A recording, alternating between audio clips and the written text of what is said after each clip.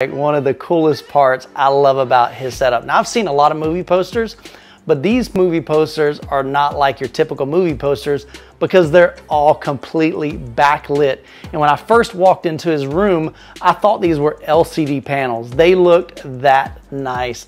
And so here you can see we've got just magnetic sides. So you can open that up and we can pull uh, these out and remove them, swap them out. They're actually two-sided posters as well. And so he can easily change those out. Guys, these are phenomenal. I'll definitely be linking these down in the description. You gotta check these out. They are really, really nice quality. And man, they look incredible.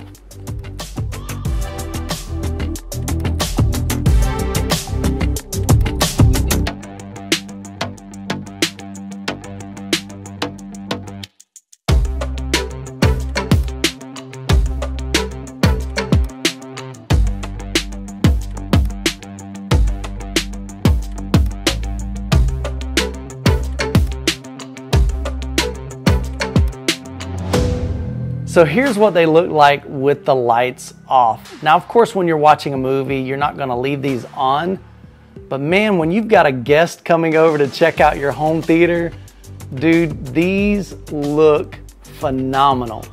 I mean, the color in this is incredibly vibrant. Just look at how deep detailed these are.